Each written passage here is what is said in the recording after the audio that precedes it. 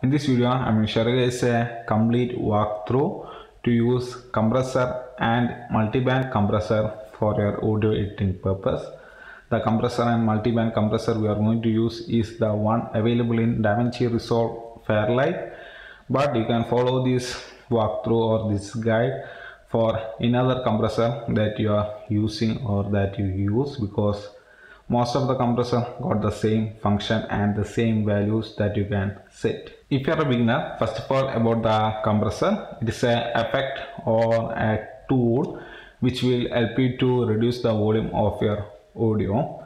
It is not going to simply reduce the volume, that is the specialty of this compressor. Instead of completely reducing the volume, we can set an upper value or threshold value and any audio that passes or that is above the value we set that is the threshold value we set it is going to get reduced.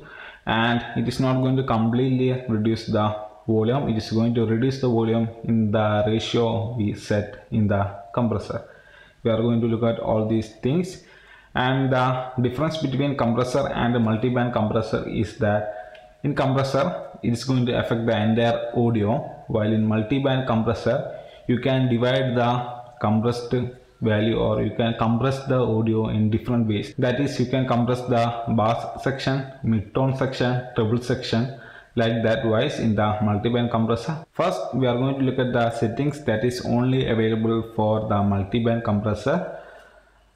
And apart from these settings that i am mentioning everything else is same for both compressor that is multiband and the regular compressor. So in the multiband compressor menu you can see the wave or the audio wave. And in the audio wave you can see the vertical line. You can move the vertical line across the wave to set the designated area for the compressor effect.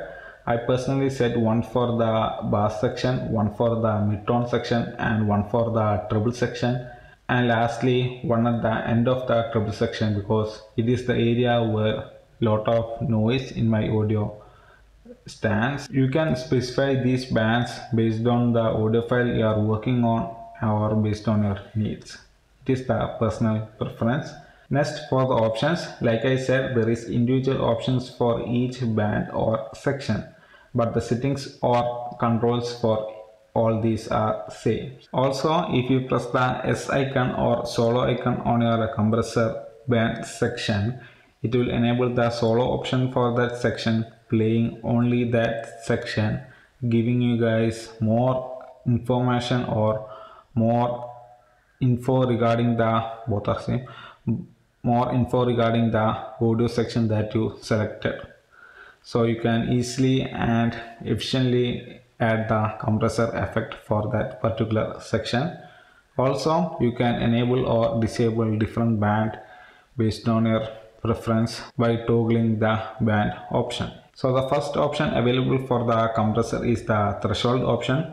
It is the upper limit of the audio. Any audio that is above the threshold value will be reduced. And the second and most important function of the compressor is the ratio different compressor software show ratio in different ways but at the end everything is same. Every ratio works on the same basis.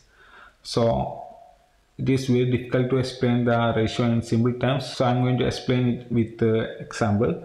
Simply if you set the ratio as 7 it will be 7 is to 1 that means if your audio is 7 decibel then it will be reduced to 1 decibel. That is how ratio works. So and it is one of the reason to use compressor to reduce the volume. As instead of completely reducing the volume or completely removing the volume it is going to reduce the audio so giving a more information or more feel to the audio. Next one is the limit option. It set the maximum output for the audio from the filter. Next is the gain. Simply gain means it is going to add more volume to your audio.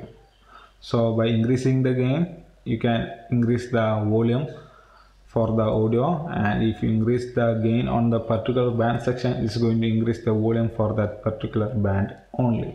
Difference between limit and gain is that limit means it is at the maximum output volume and gain means it is the output volume. You can increase or decrease the gain to increase the volume or decrease the volume. Next is the attack and release. Attack is the time taken to fully compress the audio or simply it is the fade in effect for the compressor.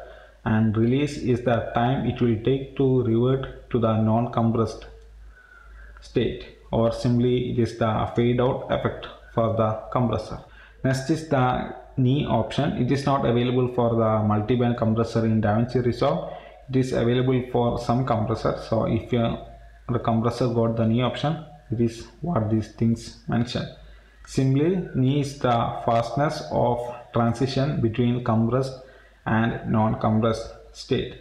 So by increasing the knee value it is going to reduce the volume or it is going to compress the volume faster Next, there is the Q option in this multi-band compressor. It is the value which help for easy transition between bands. Reducing the value will smoothen the transition between each bands and increasing it will give you guys a rough transition between each band. So with this we can conclude the walkthrough for the compressor and multi-band compressor and before I sign off a simple and an effective tip is that by controlling attack release knee and Q value you can remove most of the distortion that occurs on your audio by adding the compressor effect. Because most of the distortion occurs due to the rough transition from the compressed to non-compressed state and by adjusting the attack release knee and q value you can smoothen all the transitions so giving you guys a non-distortion free compressed audio so that's all about this walkthrough guys. I hope you guys find this video useful. If you do so hit the like button and don't forget to subscribe